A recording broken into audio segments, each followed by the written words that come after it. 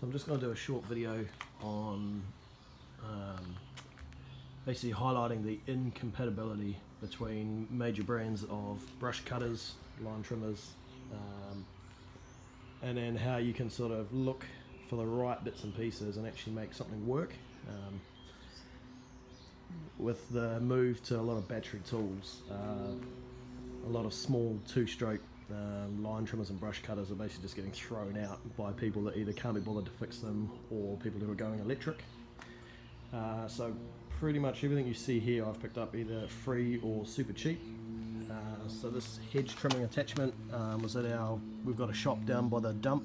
So before you get to the dump, there's a shop there where you can drop all the stuff off.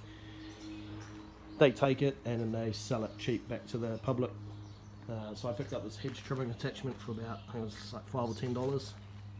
Uh, unfortunately it's got a seven spline drive on it. Uh, and nothing else I have has a seven spline drive. Both these Stihl brush cutter and, uh, and line trimmer, they're a, a, square drive. And then I picked up this Qualcut, or what's left of it, uh, off Marketplace for free. And this part's obviously broken, uh, but that's a square drive and so I've held onto this for quite a while trying to work out what I could use it for. And basically the solution was staring me in the face. Um, it's got a 7 spline that goes into the motor. However it had a square drive uh, for the head. And then what I've worked out is you can actually just take this out spin it round and put it back in the tube. That allows me to have the square drive at this end uh, which is compatible with the Stihl line trimmer there and then I've got the 7 spline down here which will then slot into this hedge trimmer attachment. And obviously you can go and buy all this kind of stuff but it's pretty expensive and that's not really what I'm into. So ideally what I'd like to do is, is to get another power head and have it set up as a um, as a hedge trimmer all the time. Um, I did look at converting the brush cutter over because I don't really use that very often but the trigger arrangement's not not in a good place. It'd be better off being like this one here. So anyway, I'll get the camera set up and we'll put it all together and then see how it works.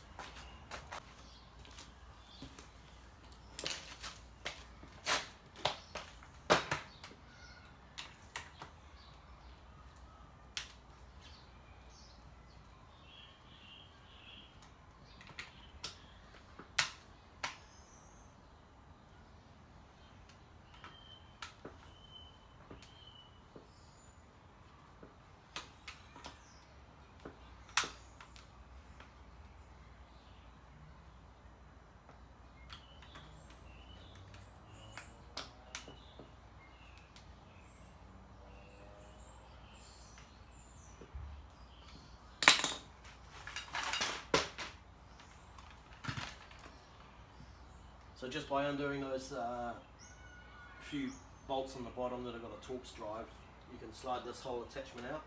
Uh, there's the the end of the square drive sticking out there. So we'll leave that set up um, as is. Put that to the side. I'm not going to need this handle or uh, this other bracket. And then while we've got it like this I'm going to take this out and spin it around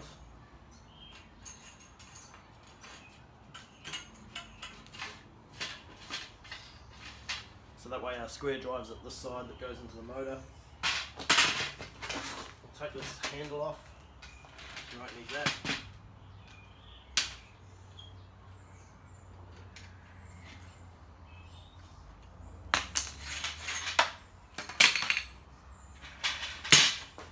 take this other bracket off because you won't need this one either.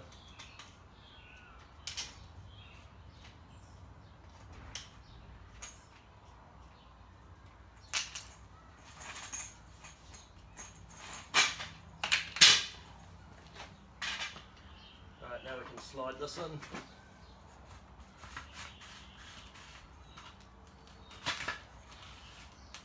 it's important to make sure it goes in all the way.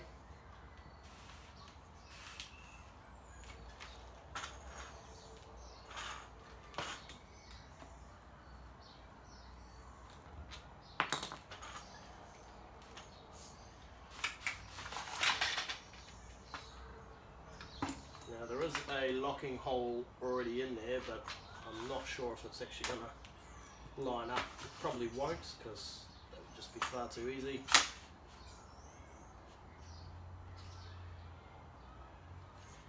I don't think it will, um, but once we get using it, uh, I'll mark where that hole is and then um, I'll end up drilling a new hole there. So now that it's on, we can tighten these back up.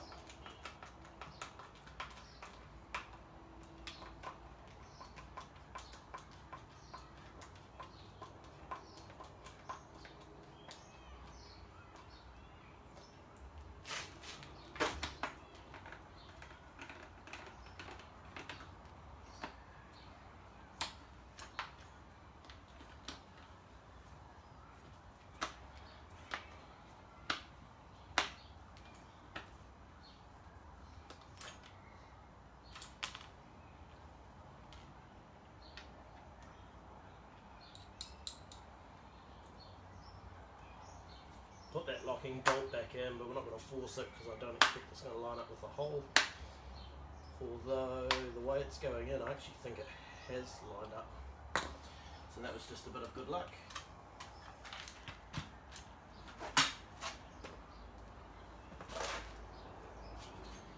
Already loosened this. And so in there's our spline drives, but to see it's too dark. Uh, but that's a 7 spline.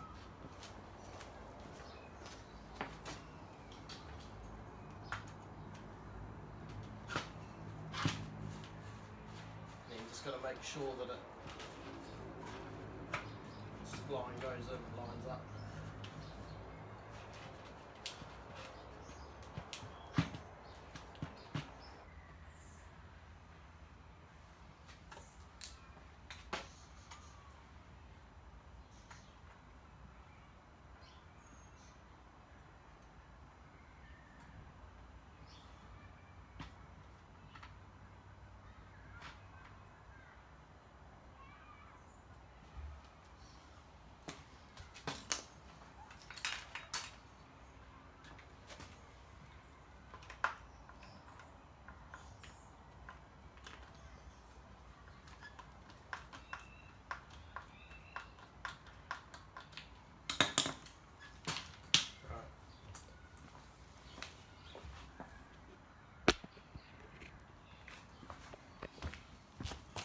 So that's all in there now. A couple of main points. Uh, you need to make sure that these shafts are the same diameter so that they fit into the handle assembly. Uh, these are 26 mil. Um, so there's four uh, fasteners that hold the shaft in there and, and, hold it in firm and then that one actually locks through a, a locating hole. I haven't made that locating hole. Uh, the danger is if that goes in too far it can actually interfere with the shaft. Um, so I'm just going to leave that a little bit loose at this stage uh, and then we'll work out whether that's interfering or not as we start it. And then with this side, again this is the locking nut but there's no hole there so I've just got that snugged up. Um, once we've got it running and all together then I'll put the hole in and tighten it all up. And so now we've got our Stihl uh, motor on a I think it was a Qualcut, which is a Chinese um, copy, uh, shaft and drive assembly, which is square drive now at that end, seven spline and now at that end, and then going to our whatever hedge trimmer attachment that's from. But uh, let's start it up and go cut some stuff.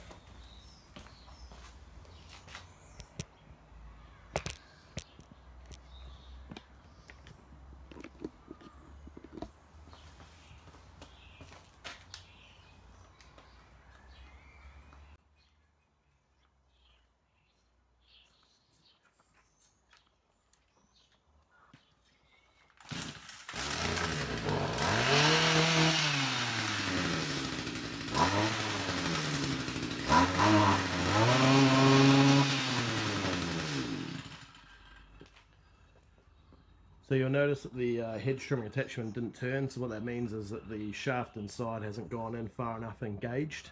Uh, so we're just going to strip it down and just make sure we get it in that last little bit.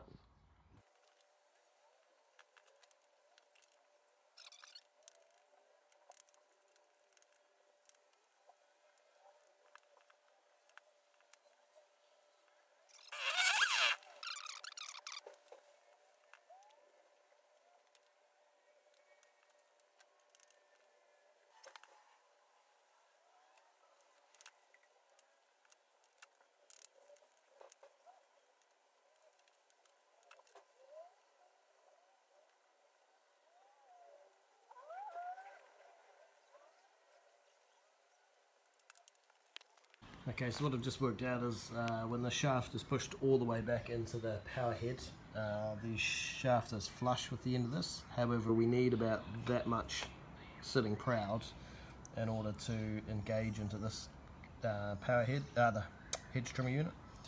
So what I'm going to do is cut whatever that amount is off. What's that, about an inch? 25 mil, something like that. We'll cut that off and then that way it can be set all the way back into the power head. We'll have about 20 mil sitting proud and then uh, we should be able to put that in. It'll all tighten up together. So let's give that a try and see if that works. Um, the other thing is I wouldn't want to cut my proper steel shaft down because obviously I still want to be able to use it for trimming grass and things. However, because this is just a random one, um, I'm not too worried about cutting 20 mil off the aluminium.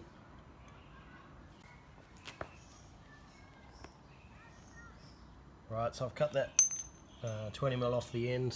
Uh, now we're going to put the shaft back in.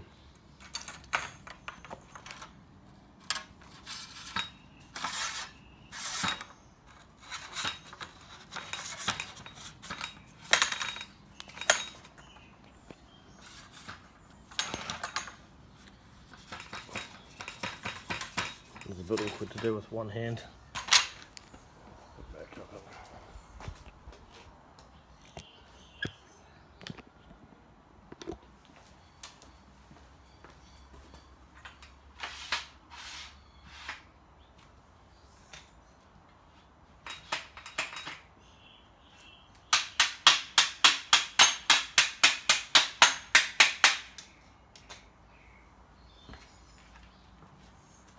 So now you can see that that's all the way in, uh, so it's engaged in the clutch. Now we've got that 20 mil sticking out.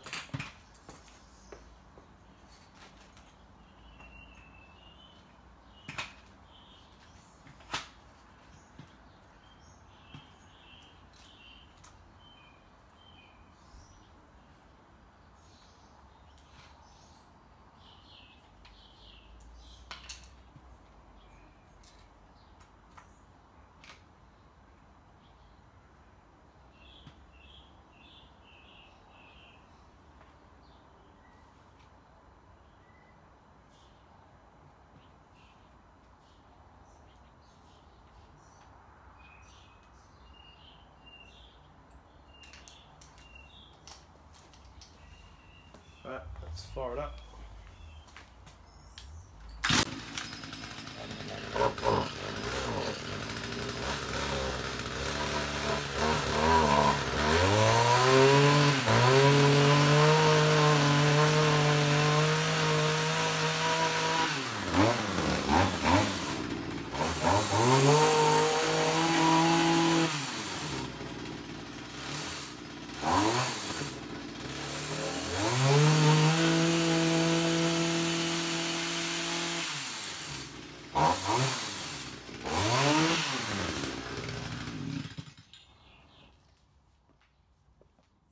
Right, that seems to be working reasonably well. So uh, I haven't put any grease in the cutting head yet, so I'll chuck some in that now and then we'll go cut some edges.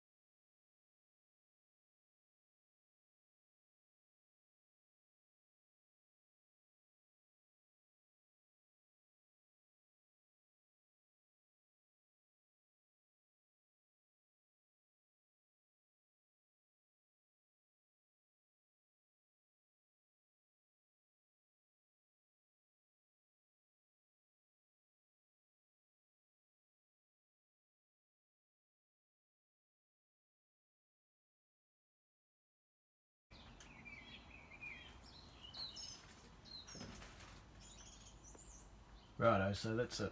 Uh, finished, put away. As you can see, the end folds up quite well. Um, trim the hedges pretty good, so I'm happy with it. I'd call that a good result, and didn't really cost me much at all. Anyway, thanks for watching.